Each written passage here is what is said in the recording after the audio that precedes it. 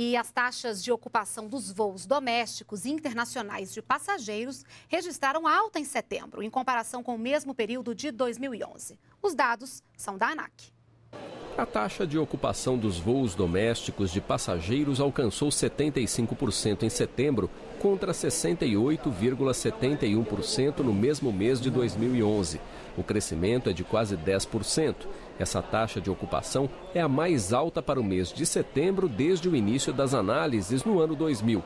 Já a taxa de ocupação dos voos internacionais operados por empresas brasileiras alcançou 82,80% no mês passado. Em 2011, esse índice foi de 82,60%. Os dados são da ANAC, a Agência Nacional de Aviação Civil.